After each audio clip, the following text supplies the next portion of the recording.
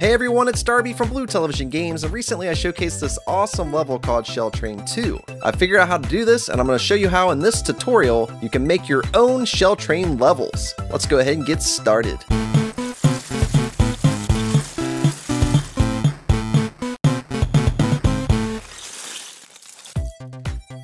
Alright, the first thing we're going to do is we're going to make a sub area. Go ahead and put a pipe down and put Mario into the pipe. But anytime you get behind, just pause the video. This is a complex tutorial. It's very hard to set this up. It took me a bit to figure out all the little tricks to get it to work correctly.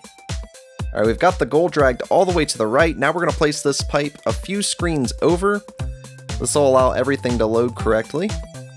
We'll place it right here and we'll drag it up one so that it's three blocks high. Then we'll fill in three blocks all the way to the end of the level and delete the top right block. Here we'll drag a track piece down against that block like so.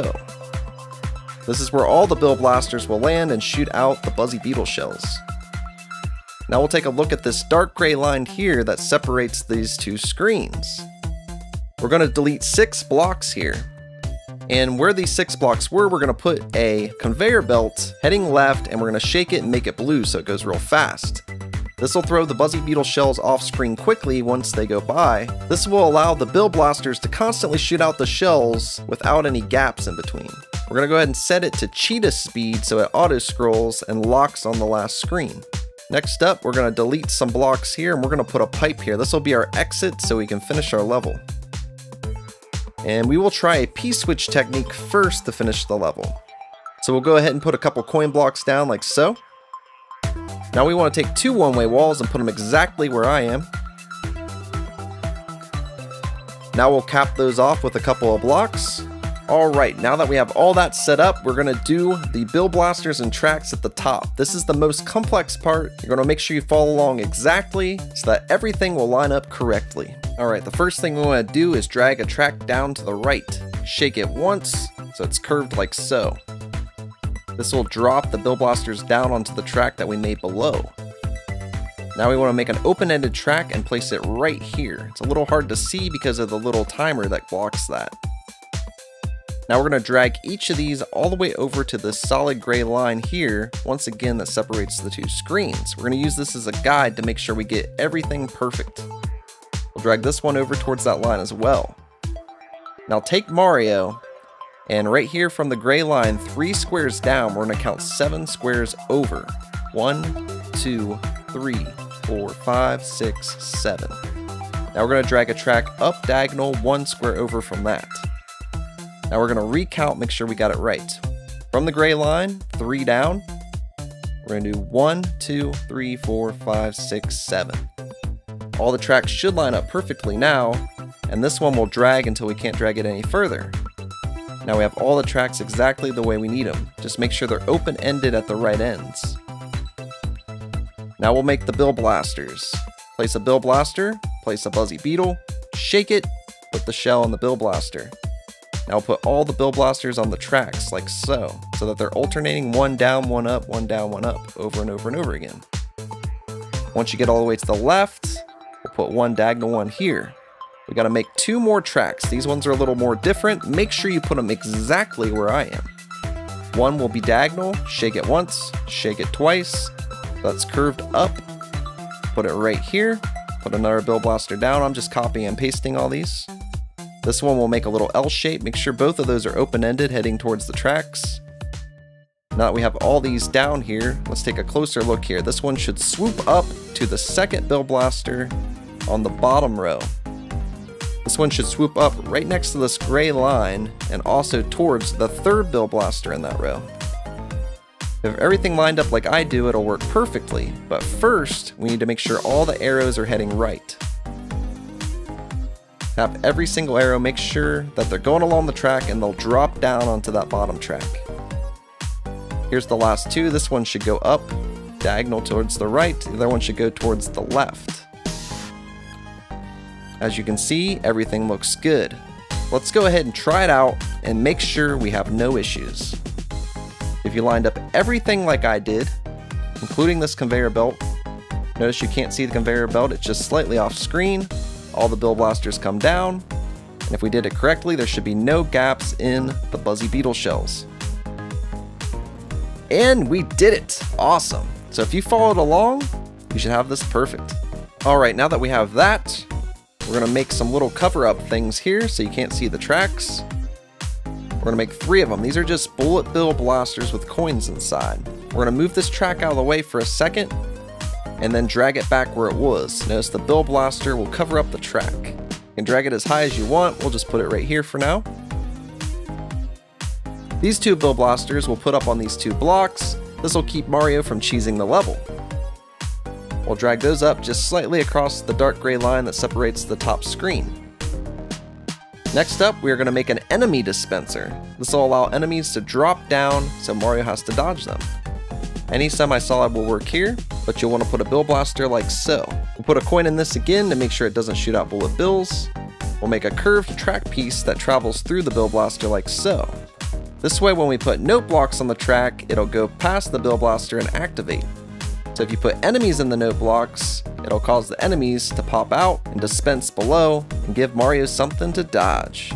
We'll go ahead and put a mushroom on the Goomba, put him in the note block, and it should be dispensed by this Bill Blaster. For the heck of it, we're going to go ahead and run some bricks across the top like so. Alright, that looks pretty decent. Let's go ahead and test out the level now and make sure our enemy dispenser is working correctly. Everything scrolls over. Here come the shells, and notice our enemy gets dispensed by the enemy dispenser. Another way you can make enemies, we can make another curved track here, move this Bill Blaster out of the way, and we'll basically just put enemies on a track that'll come down below. For this one, we'll make a Piranha Plant that shoots fireballs, but it stays in line of sight, causing for a constant threat to Mario. We'll drag a track piece over like so, and we'll leave it close-ended, that way it'll travel back and forth once it comes down. If we try to put the Bill Blaster down, it'll go on the track, so we need to move one piece of the track out of the way, put the Bill Blaster down, and drag the track piece back on top. Now we need our Piranha Plant, We'll shake him once. And we'll put a mushroom on him to make him nice and big. Beautiful. Drop him on the track. Alright, we'll put a mushroom here as a little power up for Mario too, that might help. Make sure he's heading towards the right so he'll come down quickly. And let's go ahead and test it out. So since we would be waiting on a P-switch to finish the level, this could be a really cool threat or boss fight for Mario. Notice the piranha travels back and forth, as we gotta go across these Buzzy Beetle shells and dodge all of its fireballs. It's actually pretty cool. Another cool thing you can do is take spiny shells to make movable spike pits. Just when you place them in the Bill Blasters to replace the Buzzy Beetle shells, make sure you do them in sets of 2 or 3 or 4 or 5, that way you have a few in a row. We'll go ahead and put some in here, so we're making one pit of 3 and one pit of 4.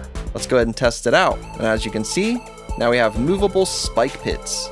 Another thing for Mario to dodge it makes the level more tricky. Let's drag Mario into the pipe and make the ending of the level real quick.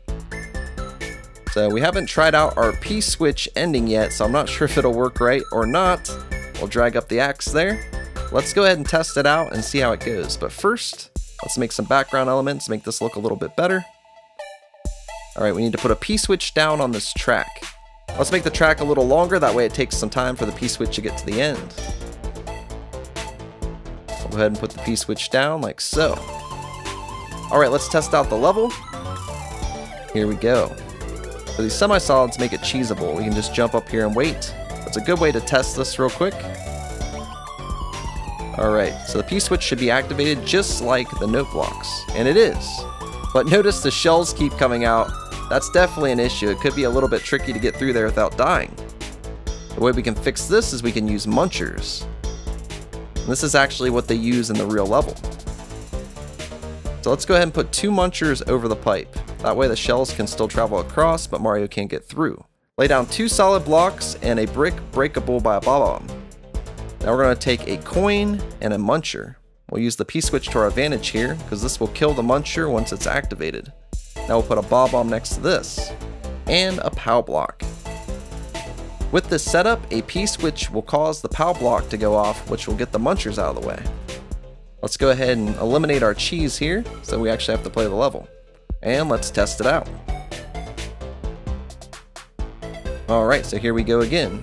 Notice everything still works great.